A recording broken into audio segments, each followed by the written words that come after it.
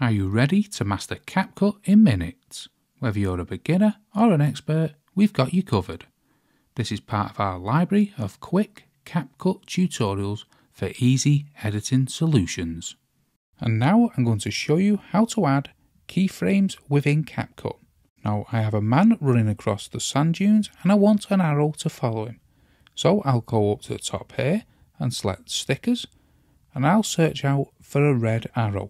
I'll add this one here to the timeline and I'll move it slightly off screen.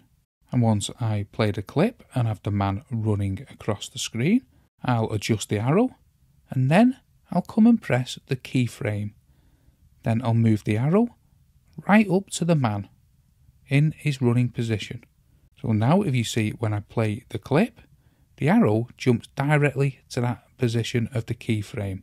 So what you want to do is move the arrow back into position and add a keyframe first.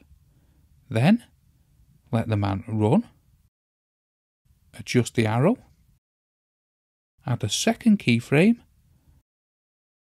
and now move the arrow to the man in his running position. Now when we play it, you can see the arrow follows him. You can keep adjusting the arrow on the screen. So now I want to make it big as well as following. So I'll adjust it within the app player to make it bigger. This will automatically add a keyframe. You don't need to keep pressing the keyframe after you've done it the first time.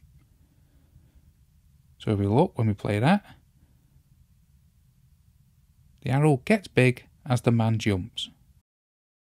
And as he lands, I want it to go small. So as he lands, I'll add another keyframe and make it smaller.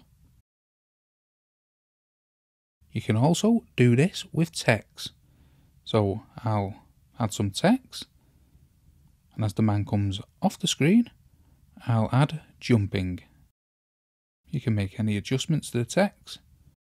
Within text, you want to go to text and then come down to position and size and select the keyframe button.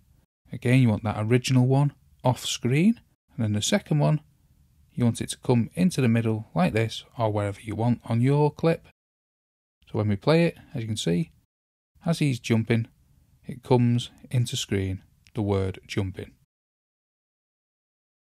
So that's how to add keyframes in CapCut. You've experienced a quick CapCut tutorial, but the journey doesn't end there. Dive deeper into the world of CapCut with our dedicated playlist of tutorials designed to make your editing experience smoother and more efficient. Learn everything from basic edits to advanced techniques that will take your videos to the next level. So, what are you waiting for? Click the link in the description below or on screen now to start watching. And don't forget to hit that subscribe button for more helpful content.